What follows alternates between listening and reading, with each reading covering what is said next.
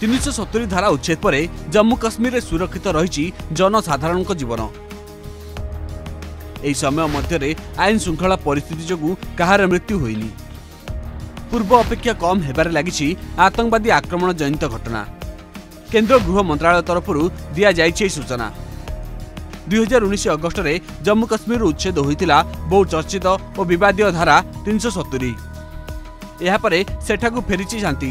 ପୂର୍ବ ଭଳି ଆଇନ ଶୃଙ୍ଖଳା ପରିସ୍ଥିତି ଯୋଗୁଁ କୌଣସି ସାଧାରଣ ନାଗରିକଙ୍କ ଜୀବନହାନି ହୋଇନି।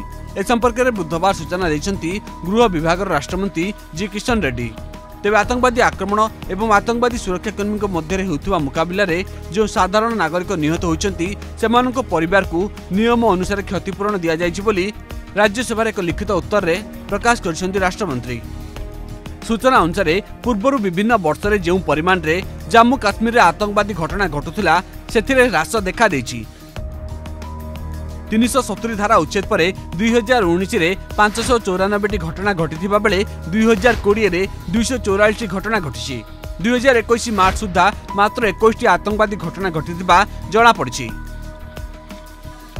ଆଉ ଏକ ବିଶେଷ କଥା ହେଉଛି ତିନିଶହ ସତୁରି ଉଚ୍ଛେଦ ପରେ ଜାମ୍ମୁ କାଶ୍ମୀରରେ ଉପଦ୍ରବୀକାରୀଙ୍କ ଦ୍ୱାରା ପଥର ଫିଙ୍ଗାଯିବା ଘଟଣା ମଧ୍ୟ ହ୍ରାସ ପାଇଛି। ଦୁଇ ହଜାର ଉଣେଇଶ ତୁଳନାରେ ଦୁଇ ହଜାର କୋଡ଼ିଏରେ ଏହା ସତାଅଶୀ ଦଶମିକ ତିନି ଏକ ପ୍ରତିଶତ ହ୍ରାସ ପାଇଛି ବୋଲି କୁହାଯାଉଛି। ଉପତ୍ୟକାରେ ଆଇନ ଶୃଙ୍ଖଳା ପରିସ୍ଥିତି ସମ୍ପୂର୍ଣ୍ଣ ନିୟନ୍ତ୍ରଣରେ ରହିଛି ଏବଂ କେନ୍ଦ୍ର ସରକାରଙ୍କ ବିଭିନ୍ନ ବିକାଶମୂଳକ ଯୋଜନା ଲୋକଙ୍କ ପାଖରେ ପହଞ୍ଚିବା ଯୋଗୁଁ ଏବେ ସେଠାରେ ପୂର୍ବ ଅପେକ୍ଷା ଅଧିକ ସ୍ଥିରତା ଓ ଶାନ୍ତି ଫେରି ଆସିଛି ବୋଲି ଜଣାପଡ଼ିଛି। Bureau report Argus news